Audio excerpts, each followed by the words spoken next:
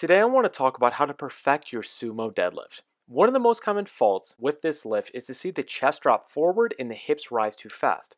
This positional fault increases the length of the moment arm acting about the low back joints, increasing the difficulty in completing the rest of the lift and having an efficient lockout. A helpful tip is to start with your chest up and torso against a glass wall as you counterbalance and wedge yourself into the bar, pulling back slightly as your shins move into a vertical position. In this position, you should feel tremendous tension and engagement in your glutes before the bar has ever left the ground.